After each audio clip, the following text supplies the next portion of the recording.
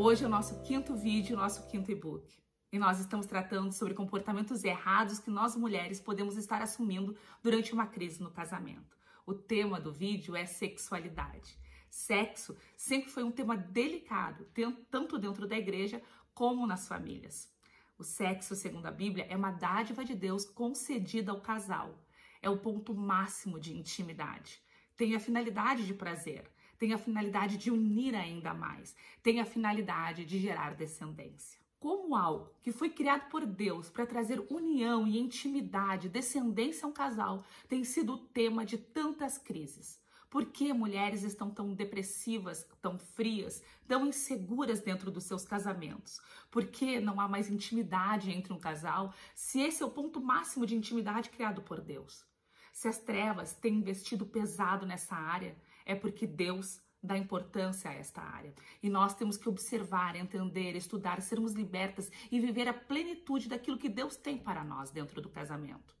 Nós podemos ver que desde criança, nós, as crianças são bombardeadas por uma distorção do que é aquilo que Deus criou para o relacionamento sexual. Nós vemos desenhos onde se estimula a sensualidade das crianças. Nós vemos os adolescentes num desespero por algo que eles nunca vão encontrar. Nós temos visto a homossexualidade sendo entendida como um comportamento normal e aceitável. Sexo fora do casamento, fora do padrão homem e mulher, não é aceitável por Deus. Não interessa o que eu acho, não interessa o que você acha. O que nos interessa, nós que somos cristãs, é o que Deus acha. Então, o sexo tem muito poder. O sexo tem o poder de nos tornar uma só carne com o nosso marido. Mas quando ele é feito fora do casamento, ele acaba nos tornando uma só carne com parceiros que não eram nosso marido. É como se você fosse uma massinha de modelar amarela e o seu marido fosse uma massinha de modelar azul. Depois do relacionamento sexual, as massinhas de modelar não serão mais amarela e azul, agora elas são verdes. Fora do casamento, quando nós temos muitos parceiros sexuais, essas massinhas se modelam com várias outras massinhas e se separam de várias outras massinhas, e aquilo que era amarelo e para o casamento deveria ser verde, agora já nós nem reconhecemos a cor que ela tem.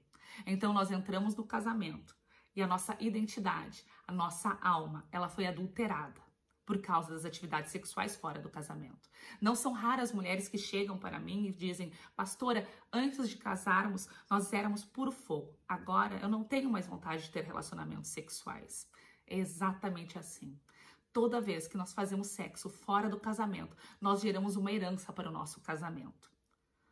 Por exemplo, quando um homem ele adultera, ele traz a alma da adúltera, porque a Bíblia diz que o homem se torna uma só carne com a prostituta, é esta palavra que a Bíblia usa.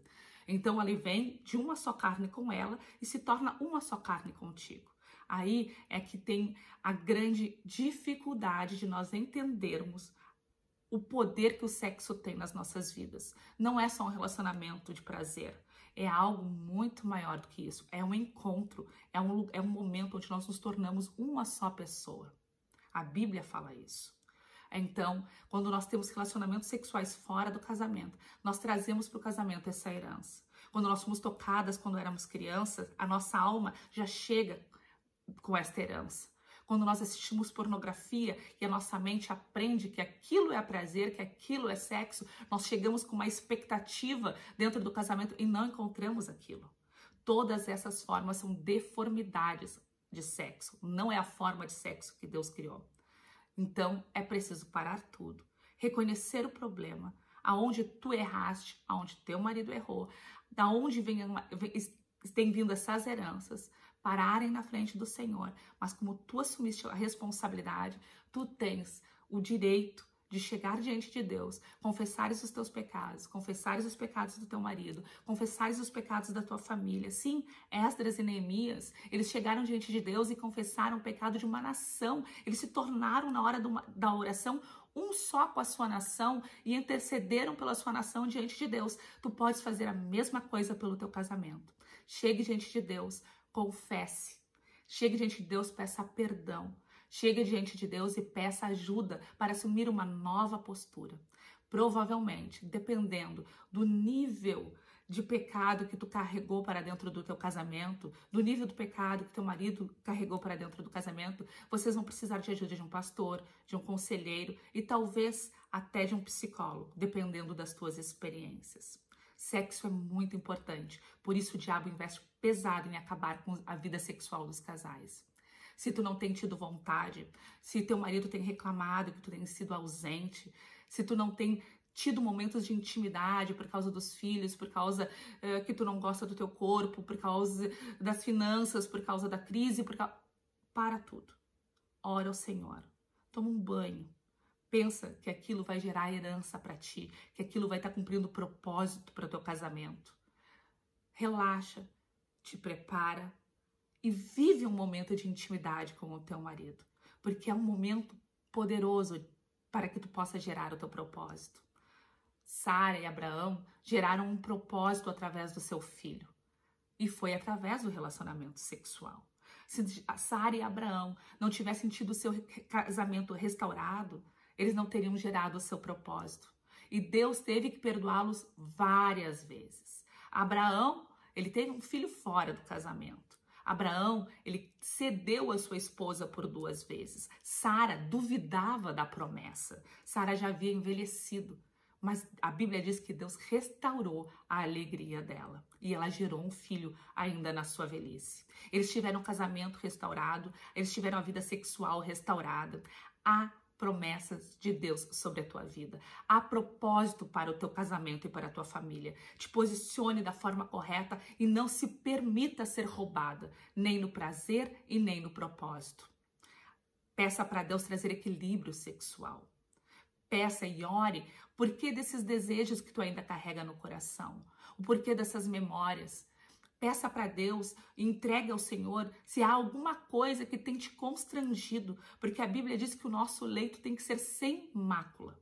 Não pode ter pecado, não pode ter mancha. Então quer dizer que dentro de um casamento, mesmo sendo legalizado por Deus, mesmo estando debaixo de uma aliança, ainda assim o nosso leito pode ter mácula. Então, da onde é que vem? Da onde vem isto? O que tem acontecido? Tu tens que parar e checar o teu coração. A Bíblia não traz um manual do pode e do não pode. Algumas igrejas falam, isso pode, isso não pode, isso pode, isso não pode. A verdade é que a Bíblia claramente não, não nos dá essa direção. Então, o melhor que tu podes fazer é chegar diante de Deus e pedir que o Espírito Santo dele te constranja do pecado. E se algo tem te constrangido, se algo que tu tem praticado dentro do teu casamento tem te constrangido, entregue ao Senhor. Peça perdão, converse com seu marido. Entrem num lugar de acordo. Tem que ser bom para você, tem que ser bom para ele, mas acima de tudo, tem que agradar a Deus para poder cumprir um propósito. Te alegre. É lícito ter prazer no casamento. Não se deixe ser roubado. No e-book há um material um pouco mais profundo. Se tu tiveres dúvidas, tu pode me escrever. Se tu quiseres, eu posso continuar ensinando mais sobre isso. Mas tu precisa ter o teu casamento restaurado, a tua alegria restaurada, o teu prazer restaurado, a tua intimidade restaurada. Tu mereces. Deus fez o relacionamento sexual para que tu e teu marido cumprissem propósito, gerassem descendência, tivessem um momento de profunda intimidade. Aproveita o e-book, faz a oração que tem lá, e o Senhor restaurará a tua família, restaurará a tua alegria, restaurará o teu casamento. Nossos próximos vídeos serão sobre princípios espirituais para vencermos uma crise no casamento. Deus as abençoe. Nos vemos no próximo vídeo.